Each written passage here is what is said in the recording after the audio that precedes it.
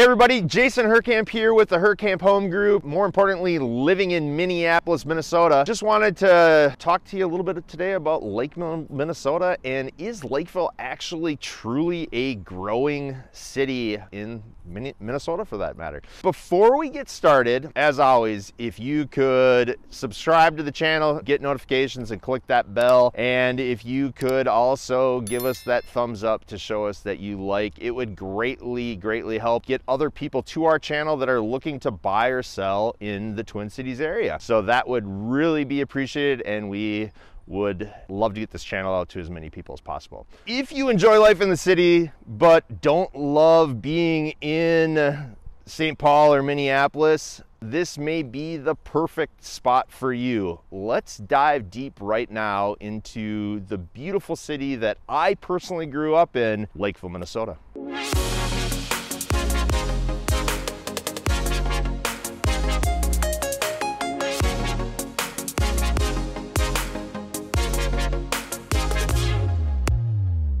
Right behind me is Lake Marion. It's just over a 500 acre lake. It's a little bit low because we haven't had a lot of water this fall, but it's a great recreational lake, a full recreational lake with a couple swimming beaches on it. Just fantastic. But Lakeville in general has a population of just under 73,000, which is about four and a half percent more than it did last year. So it's growing incredibly fast. It's about a 30 to 35 minute drive to either of the downtowns and you're gonna go up either Highway 35 or Highway 35E.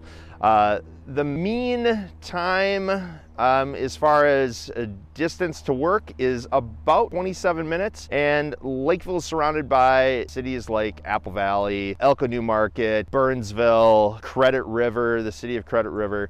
So they're about 23,000 households in Lakeville and believe it or not a staggering almost 90% home ownership in the city which is one of the highest in all of Minnesota. The median household income is sitting at $112,000 and the median home sales price sits right at about 470,000. You can have homes as really inexpensive as about 200,000 and then you can have homes all the way up to 2 million.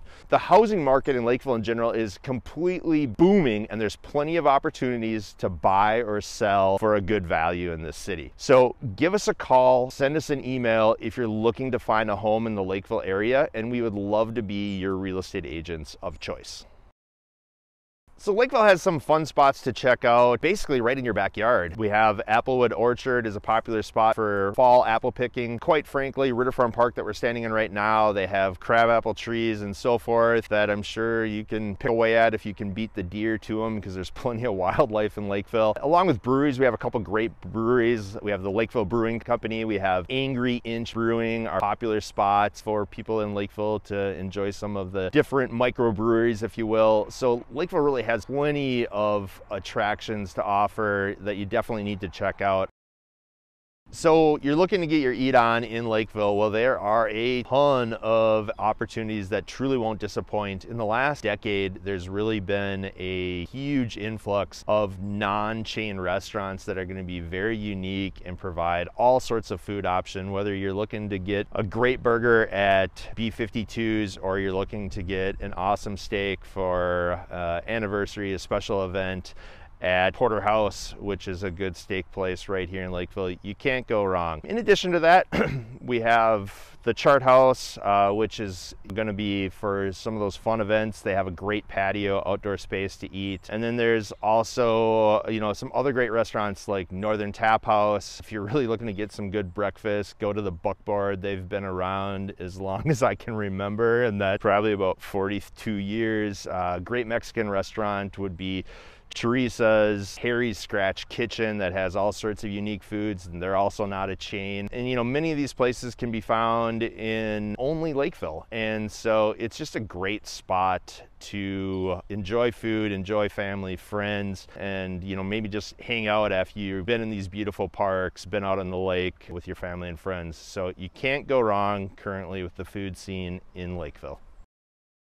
So with all these lakes, you might be saying to yourself, how can I get on one of those lakes and enjoy that lake life for myself? I wanna have my own dock. I wanna be able to have my own boat. I don't wanna wait in those long lines at the fishing ramp or, you know, I just wanna take evening cruises out on my boat, uh, maybe have a glass of wine or a couple cocktails, if you will, and enjoy some of that great boating and fishing. Frankly, maybe you like to go ice fishing because you can ice fish really easily on Lake Marion or on Orchard Lake, and they have have some fantastic pan fishing in the winter. Hit us up, look us up in the description down below, and we'd be happy to help you. We can set up a Zoom meeting, we can uh, set up a phone consultation. We're happy to meet in person. We'd love to show you all of the lakes and importantly, the two major lakes, which are going to be Orchard Lake and Lake Marion.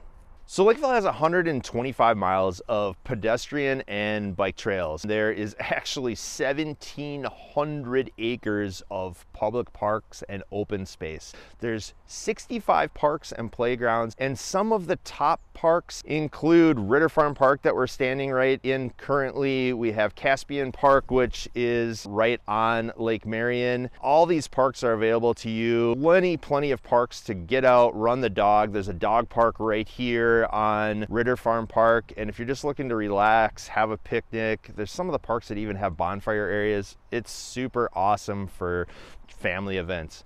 So Lakeville's adding more and more playgrounds, athletic complexes, an area for people to actually just enjoy the outdoor, whether it be casually or if you're going to, you know, softball league or, you know, kids baseball games, soccer games.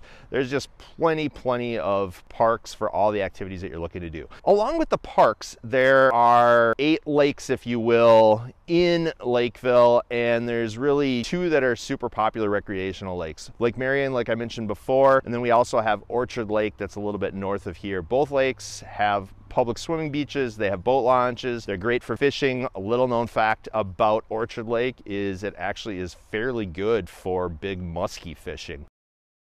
So Lakeville has three school districts in the city of Lakeville. The main one and by far the largest is the school district that I went to my entire life, which is District 194, and it serves the majority of the city of Lakeville. Also on the east side of Lakeville, there is District 192, which is the Farmington School District. And then to the northeast side of Lakeville, we have District 196, which is the Rosemount, Apple Valley, Eagan School District. All three of these are great public school districts and they are extremely highly rated. So it doesn't matter where you live in Lakeville, your children will receive a great education.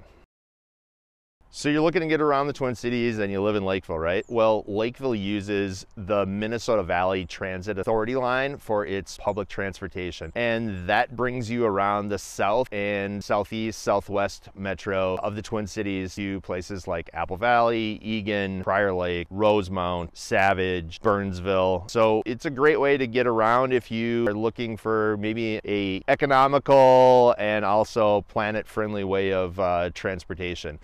So if you're looking to get to downtown for an event like a uh, football game or the basketball, twins, or going over to St. Paul to go to a wild hockey game, the nice thing about when there's a lot of traffic is there's an HOV lane that pretty much runs right from Lakeville is where it starts to downtown Minneapolis and you can get past all that traffic. You can pay to be in that lane if you're by yourself. You can ride a motorcycle in it without paying at all or if you have two people in the car car, no matter what their age is, you can use that lane also. So it's a fantastic way to avoid the traffic and it's reasonably inexpensive. So to answer the question earlier, is Lakeville actually a fast growing city? It is growing incredibly fast. There is a ton of land around Lakeville and it has the possibility of actually being the largest city in all of Minnesota because of all that land that we have.